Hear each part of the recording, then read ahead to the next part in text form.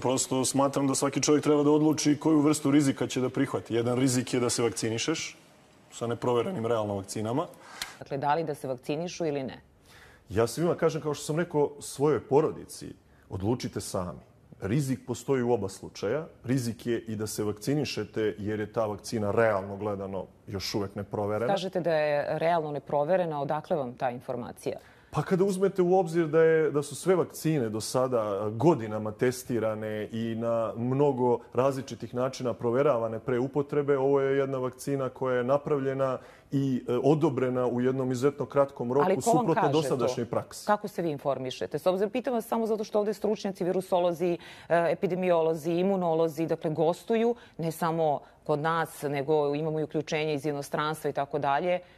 Pa pretpostavljam da su vam i oni rekli Nisu da... nam to rekli.